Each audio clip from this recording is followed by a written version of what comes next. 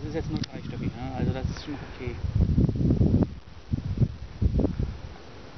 Finde ich immer noch besser auf, aus, auch wenn es größer ist als hinten die Blöcke, die da stehen. Mhm. So, ne? Mhm.